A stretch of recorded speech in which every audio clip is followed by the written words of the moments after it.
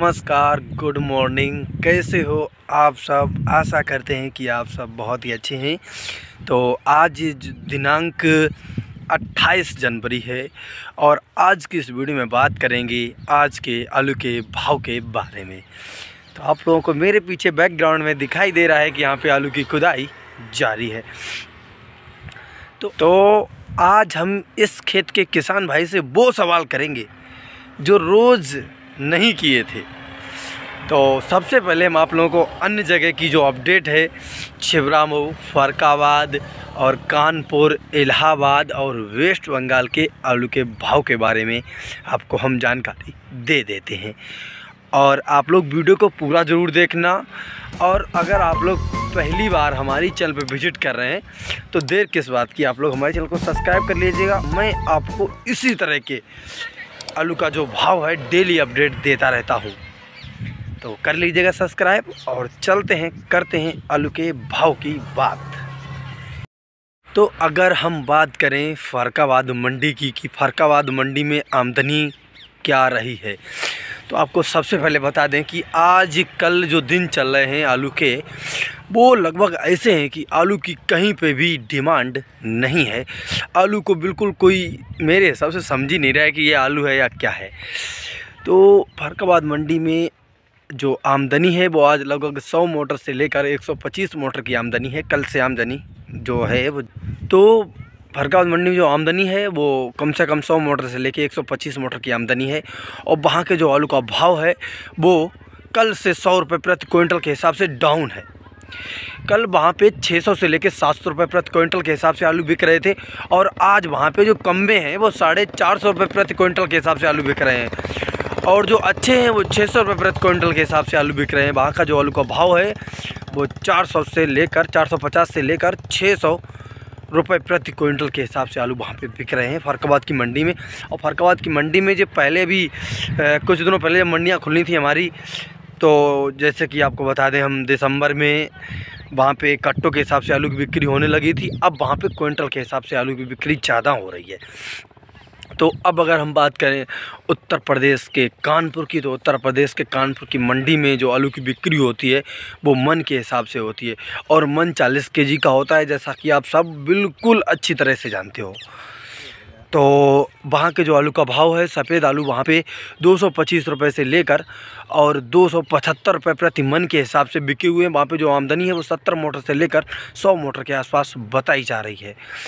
और वहाँ पे जो सुपर एक्स्ट्रा अच्छे आलू हैं, वो दो बिके हुए हैं। और वहाँ पे जो सुपर आलू बताए जा रहे हैं, सफ़ेद, वो दो सौ पचासी रुपये प्रति मन के हिसाब से भी बिके हुए हैं। अब अगर बात आती है इलाहाबाद मुंडेरा मंडी की तो इलाहाबाद मुंडेरा मंडी में जो आलू का भाव है, वो छः सौ पचास रुपये से लेके आठ सौ रुपये प्रति क्विंटल के हिसाब से भी वहाँ पे आलू बिक रहे हैं। जो अच्छे आलू हैं, वो आठ सौ रुपये और नहीं तो सात सौ रुपये प्रति क्विंटल के हिसाब से तो आलू पक्का वहाँ पे बेच ही रहे हैं।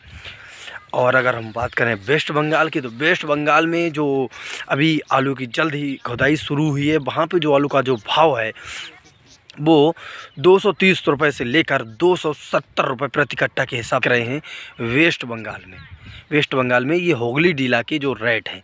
अब अगर बात करते हैं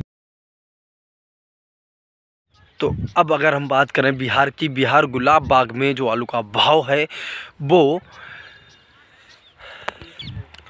तो बिहार गुलाब बाग में जो सफ़ेद आलू हैं, वो पाँच सौ पचहत्तर रुपये से लेकर छः सौ पच्चीस रुपये प्रति क्विंटल के हिसाब से बिक रहे हैं। वहाँ पे भी आलू की डिमांड नहीं बताई जा रही। मतलब आलू की डिमांड कहीं है ही नहीं। तो अब अगर बात करें लाल आलू की तो लाल आलू वहाँ पे सात सौ पच्चीस रुपये से लेके आठ सौ रुपये प्रति क्विंटल के हिसाब से बिक रहे हैं बिहार गुलाब बाग में। तो चलिए अब करते हैं किसान भाइयों से बात कि क्या है आलू की स्थिति।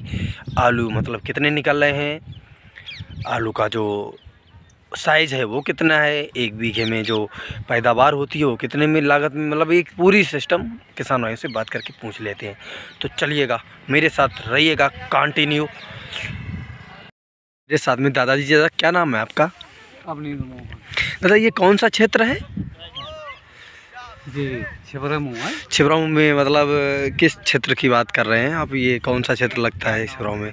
गाँव आपका कौन सा है? ये रणधीरपुर गाँव है अच्छा दादा ये कह रहे हैं ये कौन मतलब ये आलू की खुदाई हो रही है? कौन सी वेराइटी है आलू की? गड्ढ में है। गड्ढे में मतलब इसका क्या मतलब कौन सा आलू है चिप्स होना है कौन सा? अच्छा सारी वेराइटियाँ इसमें मिक्स है ना? ऐसा क्यों आपने मिक्स वैरायटियाँ क्यों इसमें बोई थी? महँगाई कितना अच्छा मतलब सही से जो आलू का बीज था वो सही ना मिल पाने के कैसा आपको मिला वैसे ही बो दिया ना?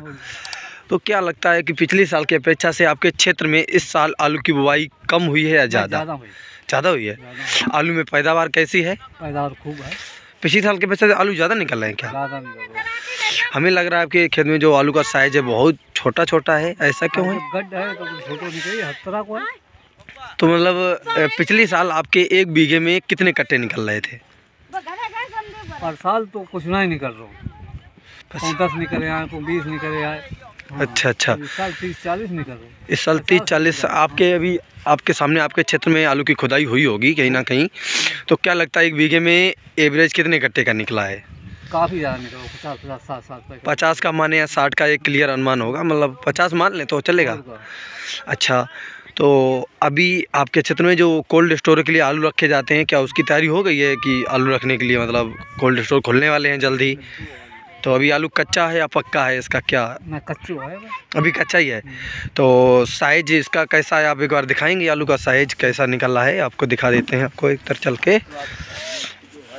ये आप तो कह रहे हैं मतलब पैदावार बहुत ही अच्छी है और पर ये मतलब इतना छोटा छोटा ये कितने दिन का आलू हो गया आपका? आलू तो हाँ हाँ। कितने दिन का कितने दिन का हो गया है अभी? चार पाँच दिन को। जब तीन महीना चार पाँच चार पाँच दिन में तो आलू मतलब पूरा हो जाता है ऐसा तो। तो ये इसका शायद तो कम से कम तो इतना बड़ा तड़ा सारा होना ही चाहिए पर इसमें बहुत ज़्यादा छोटे इसकी मतलब कुछ कमी रहेगी थी आपने मतलब कुछ उबर। अच्छा गड्ढ था है? बेल बड़ी है। भी भी सही है अगर अभी खड़ा रहता तो और साइज़ बढ़ सकता था इसका क्या नहीं? अगर अभी यहाँ पे बढ़ सकता था ना फिर आपने अभी इसको खाली क्यों कर दिया जल्दी खेत को? गड्ढा है? कहाँ लेंगे अच्छा इसको आप बिक्री करने के लिए मंडी ले जाओगे या कोल्ड के लिए? मंडी में? मंडी। में भाव क्या लगे आपको पता चला आज का भाव क्या है मंडी में? देखो ये साढ़े तीन सौ रुपये इस आलू का लाल आलू का? हाँ। इसका ये न्यू आइलैंड आलू है ना ये? हाँ, तो इसका साढ़े तीन सौ रुपये अच्छा सफ़ेद का क्या पता चला आपको? कोई तीन सौ चालीस सफ़ेद चल रहा है। अच्छा मतलब कोई अंतर नहीं है सफ़ेद और लाल में। तो एक बार आपको इधर आलू की जो खुदाई हो रही है वहाँ पे जो आलू का साइज़ है वो भी हम आप लोगों को दिखा देंगे कि क्या साइज़ निकल रहे हैं। और दादा क्या लगता है आपको आलू का भविष्य इस बार कैसा रहने वाला है? बढ़िया नहीं है। मतलब फेंकने की संभावना है या क्या स्थिति है? थोड़ा इसको विस्तार में बताने की कोशिश करें अभी तो नहीं फेंक रहा है। कुछ लोगों का कहना है कि इस बार तो मतलब आलू बहुत ज़्यादा मतलब फेंकेगा उसका सत्तर रुपये में बिचेगा कुछ ऐसा होगा कुछ क्या लगता है कि ऐसा होगा? आलू काफ़ी गया भाई। पर हमें लगता है आप लोग ये कहते हैं कि आलू पिछले साल के बच्चा से बुआई ज़्यादा हुई है। ये बात तो हम आपकी इस बात से हम किस सहमत है?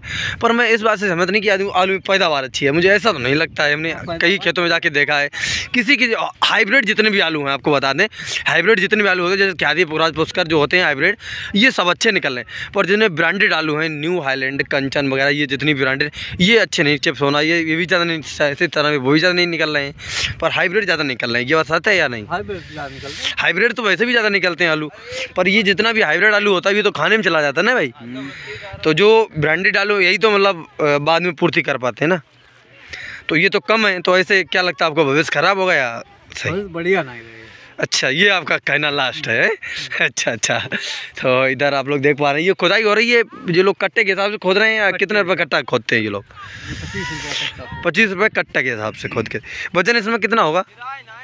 वज़न तिरपन चौवन पचपन लो अच्छा अच्छा। हाँ। मतलब ये जो आप कट्टा एक बोरा जो लगाते हैं आप इसका जो दाम है आपको आप बेचने के लिए जब आप मंडी में लेके जाते हैं तो आपको इसका पैसा वापस दिया जाता है या आप ये लगता ही है? जो संगम साथ में चला जाता है साथ इस इसकी बोरे की कीमत कितनी होगी लगभग? पच्चीस रुपया रुपये कम से कम। और नया कट्टा ये तो सेकंड हैंड दिख रहा है जैसे कि नया जो आता है उसका? नौ को लगाते सब सेकंड हैंड लगाते हैं। टोटल सेकंड अच्छा अच्छा अच्छा। ठीक है धन्यवाद। हम्म हम्म।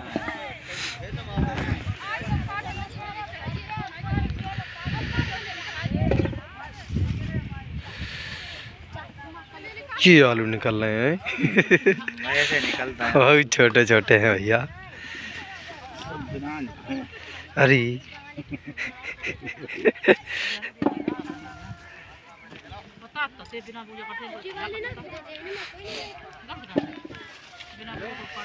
इसका छाटा भी ना करना पड़ेगा है? अलग अलग कट्टे हैं? सफ़ेद के अलग लाल के अलग।